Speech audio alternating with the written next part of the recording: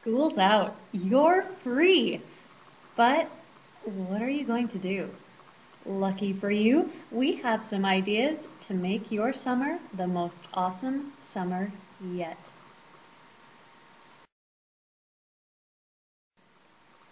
School is out. You're not spending all day in school. You don't have any homework to do. So what are you going to do? You need to get out of the house. Go outside and have some fun. Here are some things that you could do to get out of the house. All right. Usually you call up your friends to go play soccer. You're ready for something new. Lucky for you, there's rock climbing. Whether you're in District 7 or France, there are rock climbing walls and natural surfaces that you and your friends can climb on. So it's hot and you're a little bit tired and you don't really feel like doing anything all that physical. We'll go fishing. There are fishing ponds, there are lakes, and there are rivers everywhere. Get yourself a fishing pole and go put a hook in the water. You've always wanted to try it, you've seen it on TV. Well, now's your chance. Go ice skating. Well, in Ho Chi Minh City, it's not exactly ice, it's wax, but it will be the most fun you've ever had on two blades. It's a pretty popular activity around Southeast Asia. It's the rainy season, it's windy, the winds really pick up, and you can buy kites just about everywhere. Go get a kite, get some string, and fly a kite. It's a lot of fun and it takes some skill. So your family went to Mui for the weekend. You're at the beach and you remember that there are sand dunes nearby.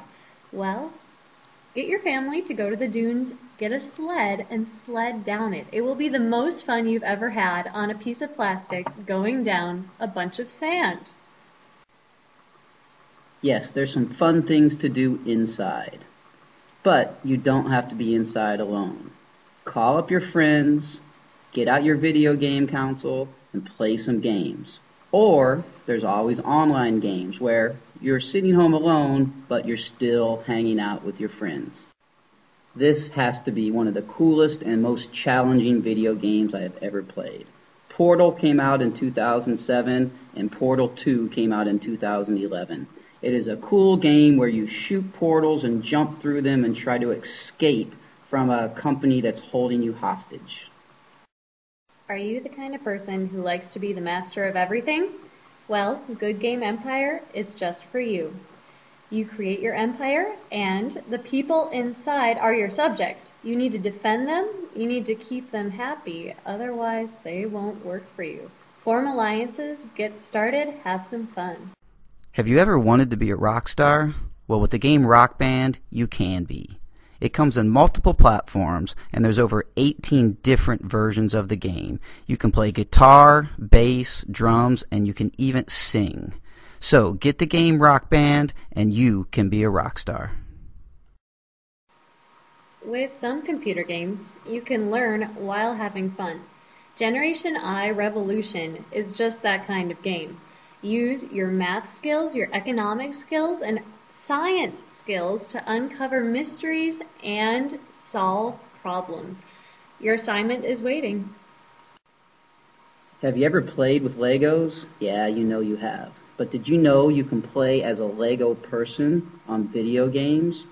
They're released on all the platforms, and there's a bunch of different games. There's Harry Potter, there's Star Wars, there's Indiana Jones, and all the superheroes too. No summer is complete without some excellent books. One of my favorite things to do is relax in the backyard in my hammock with a good book. So grab a pillow, grab a snack, and grab an excellent read. Artemis Fowl by Eoin Colfer. This has got to be one of the coolest series books I have ever read. It's fantasy, it's sci-fi, there's fairies, there's dwarfs, there's all kinds of things happening. And Artemis, well, he's an evil genius, but you find out he's not so evil after all.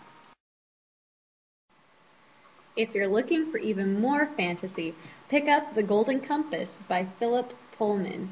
This is an epic battle between good and evil that will keep you guessing page after page. Try it out. You'll love it. One of my favorite books of all time is A Short History of Nearly Everything. But it's an adult book. So I was so happy when this book came out. A really short history of nearly everything, which is a kid's version of the exact same book by Bill Bryson. Check it out. So, you've seen the Lord of the Rings movies and you know The Hobbit is coming out soon. Well, before it comes out, get your hands on that book. The Hobbit by J.R.R. Tolkien is an adventure tale like none other, and if you haven't read it, you don't know the true beginning to the Lord of the Rings trilogy. Skellig, written by David Almond, was published in 1998. It's about a kid named Michael who moves into a house. The house is all tore up and his parents try to fix it up.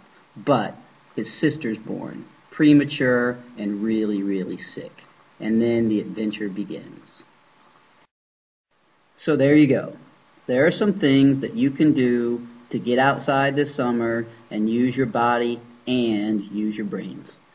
So wherever you are, whatever you're doing, don't forget the SSIS ESLRs and have some balance in your life. Also, have a happy summer.